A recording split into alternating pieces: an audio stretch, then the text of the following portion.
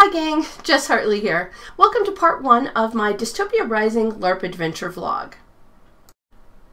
I'm going to be sharing some footage that I shot at the Dystopia Rising Oregon LARP, uh, including some really cool shots that I got of people's costumes and some of the physical representations, phys reps of items that are out there, the props and that kind of thing.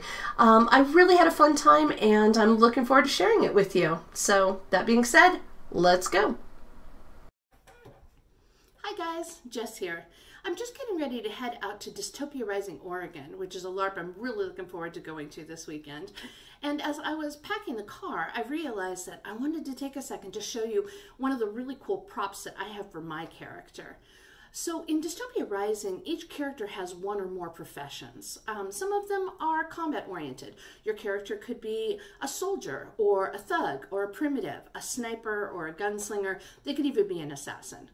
Some of the professions are more social or economic minded. Your character might be a merchant or a scoundrel or a politician. And each one of those um, professions have various skills that are associated with it.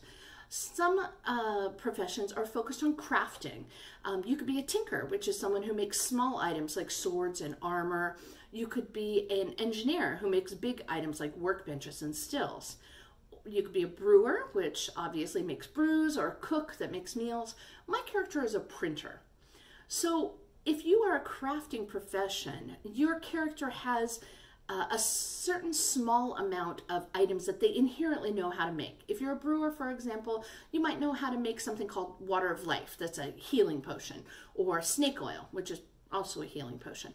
Um, but if you want to make fancier things or, or broader spectrum of things, you need blueprints. And blueprints are literally pieces of blue paper with instructions on them about how to make those more advanced items. There's blueprints for brews, there's blueprints for meals, there's blueprints for swords and armor and workstations and all kinds of things. Literally hundreds and hundreds of blueprints. So my character is a printer. She specializes in collecting, reproducing, and selling and spreading knowledge via these blueprints. And different crafters have different kinds of crafting stations. The basic station for a printer is a printer's table, which is basically just a table. Uh, it's got, you know, maybe you've got phys physical representations of um, pens or sharpening stones for quill uh, knives or um, ink wells or that sort of thing. Um, but when you get to a more advanced level, there's something in the game called a gold leaf printing press. And uh, this is an item that allows printers to reproduce blueprints which are otherwise not reproducible, non-transcribable. And it takes a lot of mental energy in order to use one, and they require a physical representation, as many advanced items do, of a, uh, a particular type. In this case, a, uh, a block printing press. So when my character got her first gold leaf printing press, I really wanted a cool phys rep for it. But one of the challenges about LARPing is that when you're getting all of your stuff to the game, you've only got a finite space in your car. So while I wanted to have a huge, massive rep for this printing press, I also had some space constraints and weight constraints on how much I could pack in and out of the site, how much I could get in my car, um, how much space I wanted it to take up in my house between games and that kind of thing. So I brainstormed with my husband, Pat, uh, who runs a company, owns a company called Bad Bear Labs, and he does, among other things, some really cool uh, phys reps for LARP games. Um, I'll show you guys later. He made me an amazing weapon for my character that looks like a roll of rolled up blueprints. And I, it's just, it brings me so much happiness every time I see it. But when he and I were talking about the gold leaf printing press, we had a couple things that we wanted to keep in mind. We needed it to be light um, because I'm 50 plus years old and I don't want to haul a 50 pound gold leaf printing press across site to set it up and tear it down. Um, it needed to be compact so that it would store well between games and also so it would store well in the car because if it's a delicate item and it gets other things uh, layered on top of it, uh, that can spell disaster for a phys rep. And it needed to look awesome. So what we came up with is this. This is my gold leaf printing press. As you can see, it's based on a wooden crate that we pre-bought. And if you look at it from the outside, it's got a gold leaf on the front. This actually says Bearford 6100 gold leaf press, and it's got a uh, a maple leaf and a bear paw on it for Bad Bear Labs. And um, the cool thing about this is the this piece on the top here is foam that has been customized to look like wood. It's got little little um, uh, veining in it like like uh, wood does and little bits of uh, places where it looks like insects have bit through it and that sort of thing. But the cool thing about the lid to this is it actually flips over and becomes the base of the, or the, the top of the printing press. So we've got a couple of pieces inside here.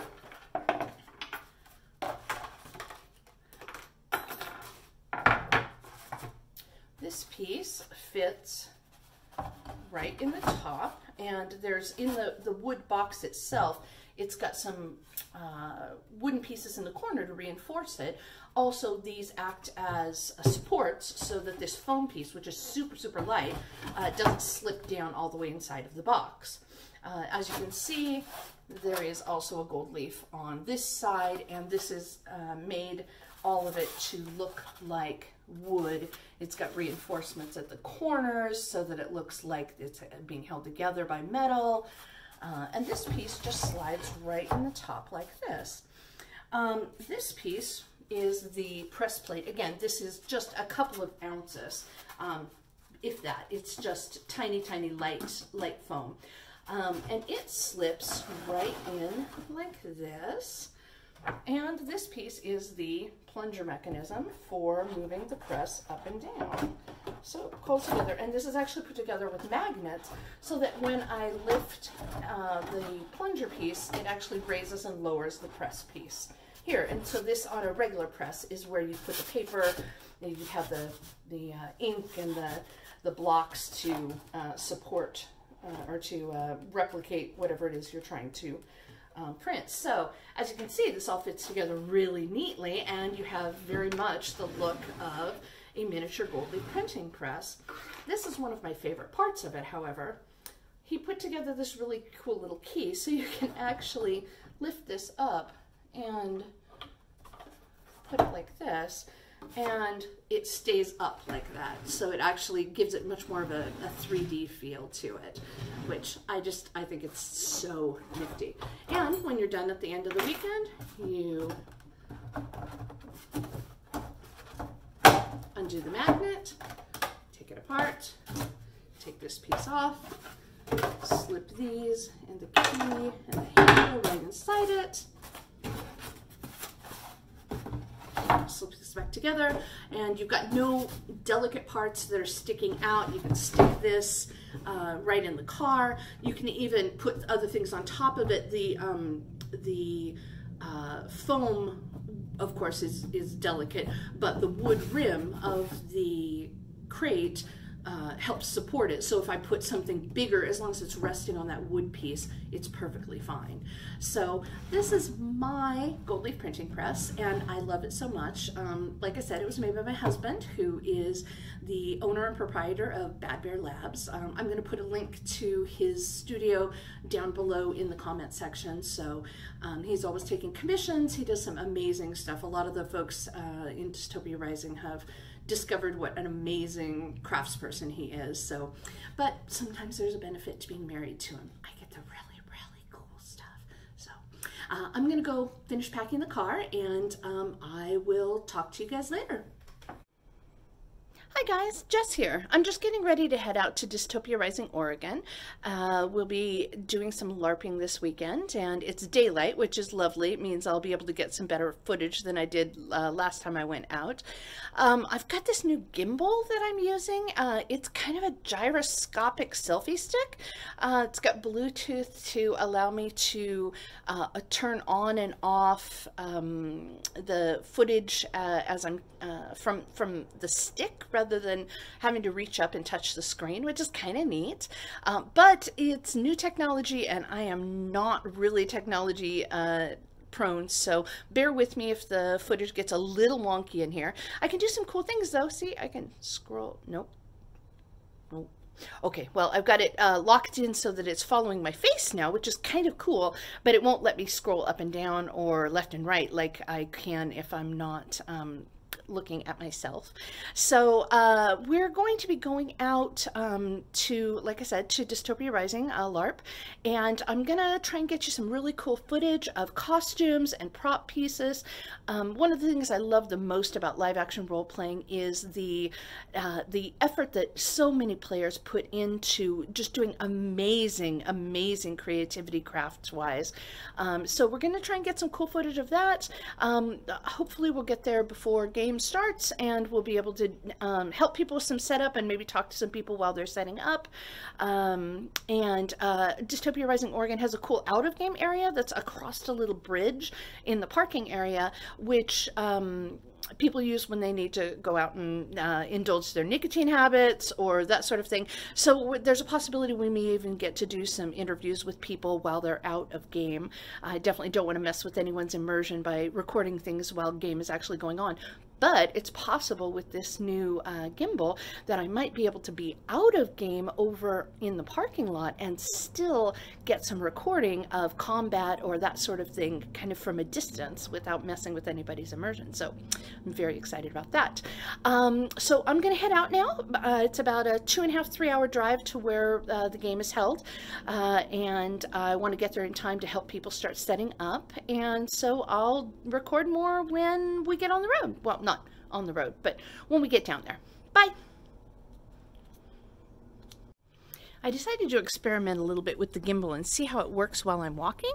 So I'm taking you with me out to the car now, and uh, we'll see how this goes. So far, looks like it's pretty neat. I, uh, I'm a, a firm uh, sell on this already, so um, oh, look at that. He did the turn really nicely. Oh, there we go. Okay, wonderful. So I'm really looking forward to a game this weekend. There's some really cool plots going on.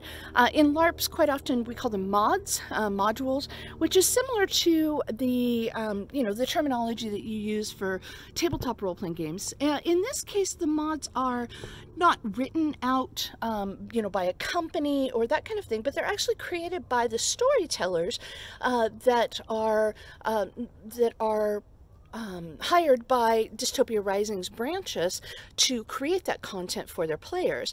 Um, all of the mods um, have different focuses. Some of them are combat oriented, some of them may be um, social role play, religious role play. Um, there's all kinds of different things. I'm really looking forward to seeing what uh, Dystopia Rising Oregon has in store, store for us this weekend. So uh, the gimbal's working pretty good, and I'm going to sign off because it's time to get in the car now. Bye! Well, I can tell already that one of the things is going to, that is going to take some getting used to with this gimbal is arm strength. Oh my goodness, uh, it's a little bit heavy, um, and holding it out at arm's length for any length of time is kind of tiring. So I'm gonna have to start doing some push-ups. Um, but it's really cool. I really like the fact that it seems to keep everything very, um, very non-shaky, which is great. Um, if you are doing vlogging yourself, I would really recommend investing in something like this. They're not super expensive. Um, I think this one was around a $100. Um, so it's, you know, it's not a tiny expense, but the results seem to be really, really cool so far. Um, I can do things like this. Oh, look, panned left. Ooh, panned right. I can pan up just in case you really want to see the roof of my car. Um, I could pan down, but that's even worse. So um, I really, I like it so far. This is very, very interesting. Oh, and apparently I can, oh, nope, I'm in tracking mode, so it can't uh, zoom in and zoom out. But that's an option that I can do with this too, apparently. So that's kind of neat. Hey, thanks for checking out part one of my Dystopia Rising Oregon LARP adventure.